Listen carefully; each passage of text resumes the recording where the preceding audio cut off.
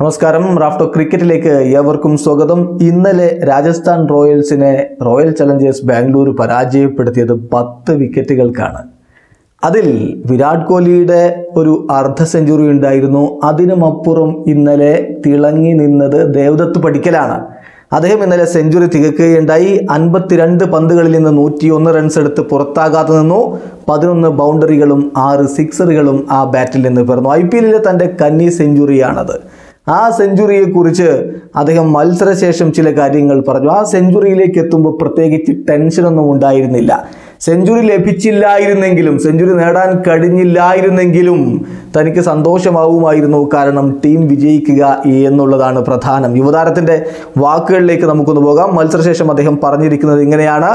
തീർച്ചയായിട്ടും ഇതൊരു സ്പെഷ്യൽ ആയിട്ടുള്ള കാര്യമാണ്.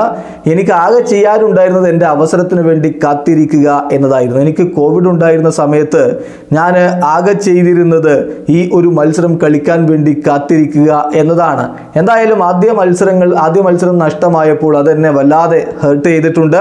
ഇന്ന് ഇപ്പോൾ ഈ മത്സരത്തിന്റെ കാര്യം പറയുമ്പോൾ വിക്കറ്റ് വളരെ നല്ല ഒരു വിക്കറ്റായിരുന്നു മികച്ച പിച്ചായിരുന്നു പന്ത് ബാറ്റിലേക്ക് വരുന്നുണ്ടായിരുന്നു. അതുകൊണ്ട് തന്നെ കാര്യങ്ങൾ വളരെ ഈസി ആയിരുന്നു. പ്രത്യേകിച്ച് മികച്ചൊരു പാർട്ട്ണർഷിപ്പ് ഉണ്ടാക്കാൻ കൂടി കഴിഞ്ഞപ്പോൾ പ്രത്യേകിച്ചൊരു ടെൻഷനും ആ ഹൺഡ്രഡിനെ കുറിച്ച് സെഞ്ചുറിയെ കുറിച്ച് എനിക്ക് ഉണ്ടായിരുന്നില്ല ഞാൻ വിരാടിനോട് പറഞ്ഞത് റൺ എടുക്കാനാണ്. അദ്ദേഹത്തോട് അദ്ദേഹത്തിന്റെ രൂപത്തിൽ കളിക്കാൻ വേണ്ടി തന്നെയാണ് ഞാൻ ആവശ്യപ്പെട്ടത്. എന്തായാലും ഒടുവിൽ എനിക്ക് ആ സെഞ്ചുറി ലഭിച്ചു. ഇനിയിപ്പോൾ സെഞ്ചുറി ഉണ്ടായിരുന്നില്ലെങ്കിൽ പോലും ഒടുവിൽ ടീം വിജയിച്ചാൽ എനിക്കത് സന്തോഷമാകുമായിരുന്നു. ഞങ്ങൾ തമ്മിലുള്ള കോൺവെർസേഷൻ വളരെ ക്ലിയർ ആയിരുന്നു.